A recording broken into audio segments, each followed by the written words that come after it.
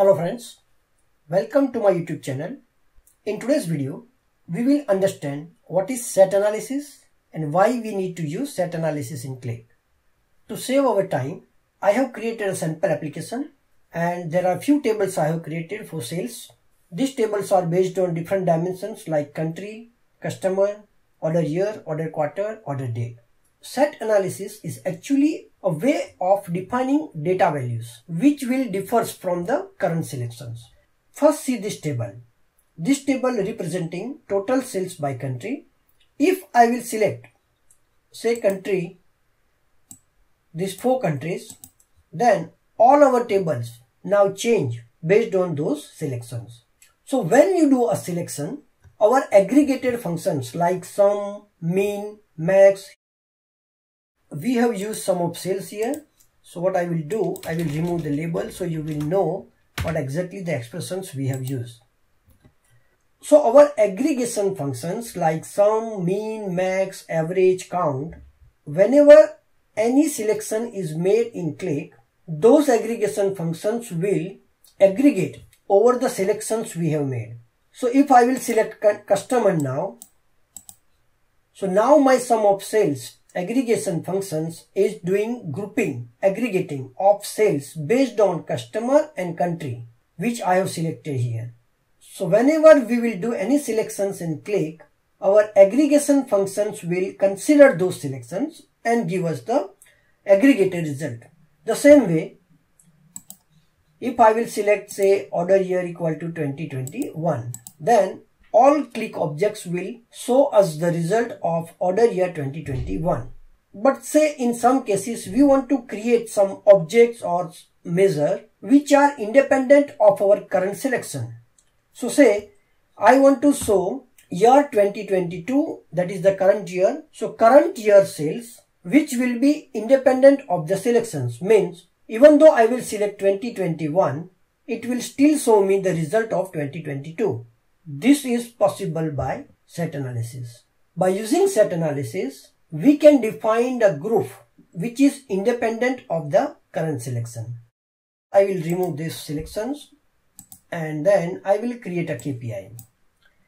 I will say if order year equal to 2022 then only give me sales and now I will say sum of all my sales so that it will give me group of all the sales. And I'm getting here 214825 this is for my year 2022 which you can see from here. So this is my aggregation function here with if statement. Now when I select customer say I'm selecting these four customers. So I am getting sales 10140, 10140, which is you can see from the bottom left table. This is exactly working as per our expectation. But as soon as you select year 2021, this data is becoming zero. Why? Because order year 2022, which we have defined here, is responding with your current selection and the sum which is your aggregated function is giving you result of the selected year. Even though we have mentioned order year equal to 2022, still you are not getting value of 2022. So to overcome this issue, Qlik has created set analysis. By using set analysis, you can predefine order year which will be independent from the current selection. I will use set analysis here in the second KPI and I will show you the syntax. So I want sales curly bracket start curly bracket end inside less than and greater than sign and in between this we have to mention our order year order year equal to 2022 which you have to mention again inside the curly bracket and between the curly bracket start and less than sign dollar sign This is the syntax of Qlik set analysis. Step by step we will see how to replace 2022 by dynamic year. But first we will see what is the output of this result. So the output is 10140. If you remove order year from here, you can see for these customers we have 10140. If I will remove all the selections, then I am getting 214825 for year 2022. We are getting the same result for set analysis and the upper KPI where we have used if statement. This both will give you the same result for all the selections. Say I am selecting category, you are getting the same result. I am selecting supplier, getting the same result. But as soon as you select order year 2020, you can see the previous KPI which we have created using if statement is now showing value 0 because our selected year is 2020 and we have mentioned order year equal to 2022 here. But the second KPI where we have used set analysis and mentioned that order year equal to 2022, this will not consider the selections which we have made in order year because order year is now predefined here as 2022 and it is independent of the current selection made in order year. This is how Qlik set analysis is working. We have mentioned 2022 here as a static value to convert 2022 as dynamic because next year it will be 2023 and we need this current year should come as a dynamic. To do that I will create another KPI and I will mention here equal to year today. So today's year. It will give me 2022. I will say here measure expression. So I am getting 2022 which I have to replace here inside the set expression. To replace this one, I simply cannot write like this here today because you can see here we are getting error. Whenever you want to use any measure as a set expression value, you have to use dollar sign expansion to evaluate it. The same way we are using dollar sign expansion to evaluate any variable. So here I have to use this dollar sign expansion and inside bracket I will mention year today. Please don't forget to use equal sign otherwise it will not work. So what Qlik will do here? First of all, before giving you the end result of this expression, it will try to find out is there any dollar sign expansion mentioned here or not. If it is there, then it will first evaluate dollar sign expansion. So you can see now we are getting result dollar year today equal to 2022 and then you will get the result of whole expression. So now you are getting 8108 which is the same which we were getting before but now your current year is dynamic. So in short by using set analysis you can define a set of values which is independent from the current selections. I will remove bottom one and the top one KPI and now we will discuss so this KPI where we have defined order year equal to current year by set analysis, we have only defined order year. We haven't defined any other field. So when you select any other field, you can see this KPI is reflecting according to the current selection. Anything, you can select anything. But the KPI value will not change based on the selection in order year. But if, if I select month year, say January 2020, it will be 0 because January 2020 is not falling inside the current year. We haven't defined month year, order month year in our set expression. So, set expression result will reflect according to the current selection apart from the field which we have mentioned in set analysis. So if I will mention here, say category, category is audio. I did some adjustment. I make this KPI bit wider so that you can see the whole expression here. So now if I will use category here as well, so I will say now I want to predefine category. So I have to use category here and I will say audio. I am using single quote because category is in string and what result I am getting? I will get result as sum of sales where category equal to audio and order year is equal to current year. So to verify this one, I can select category equal to audio and year equal to current year 2022. So now you can see the total is 20114. If I will remove the selection, you will still get 20114. So by adding category equal to audio here, now we have predefined category and predefined order year both. So if you select order year or category, this end result will not change. So if I will say category equal to this, you can see we are still getting 20114 and even if I will select order year equal to 2021, we are still getting 20114 because order year and category is now predefined in set analysis so they are independent of the current selections made in order year and category. Hope you understand how set analysis is working. Let's add one more thing. I will say country equal to Canada.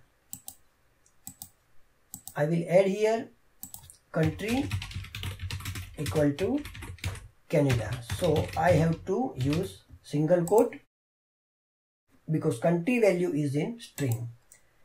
So I am getting 3755. I will select 2022.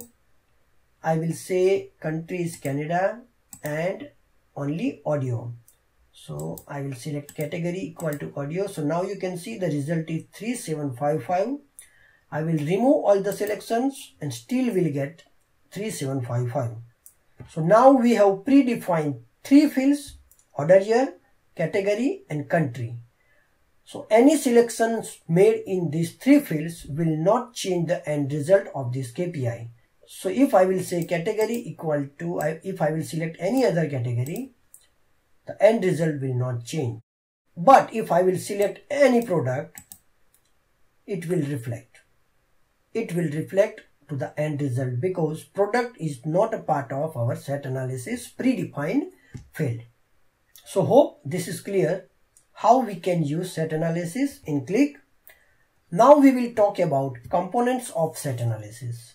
There are three major component of set analysis. To do that one, first I will create another expressions. I will say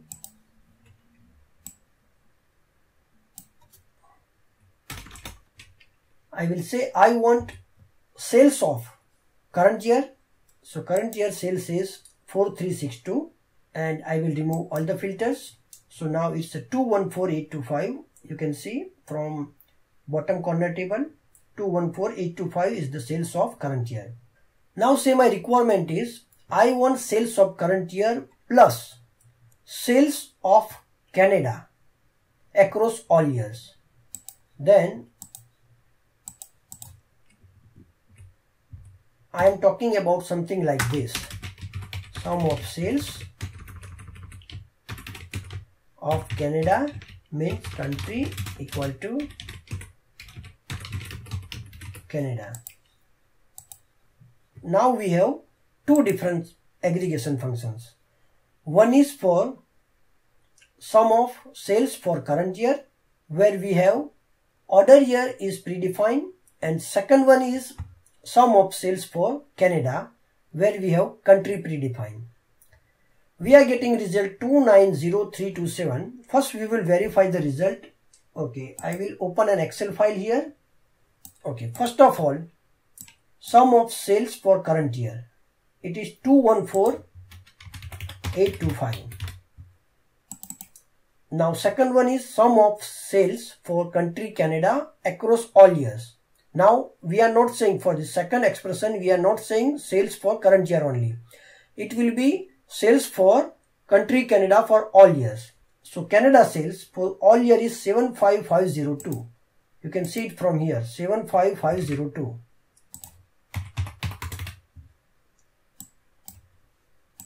So, so the total sales we should get here is 290327. So this is how we are getting 290327. But if you select Canada here, you can see we have 8450 sales for current year. So that means this 75502 is also included 8450 and this sales is also included 8450. So 8450 is coming two times here. The actual sales should come something like that.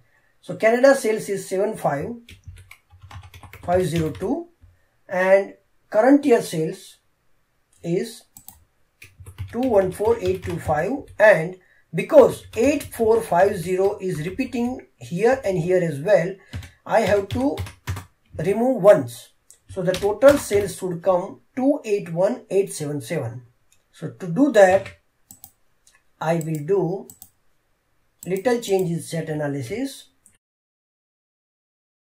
I will copy this portion of set analysis between less than and greater than sign and I will mention it here and I will say plus and I will make it new expression something like this. So now when I use this expression the end result is 281877 which is exactly what we are looking for.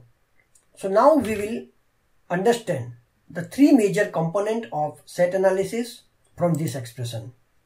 The whole expression is set expression. The dollar sign which we have mentioned here between curly bracket and less than sign this is called as set identifier.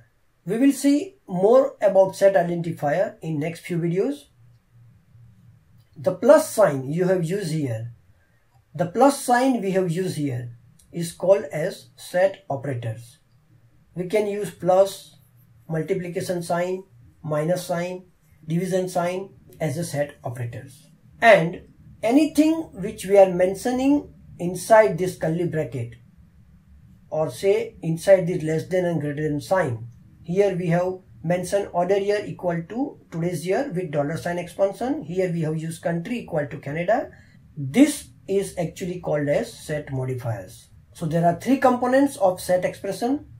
This is whole set expression. Dollar sign is set identifier. Plus is set operators. And the field value which we are predefining is called set modifier.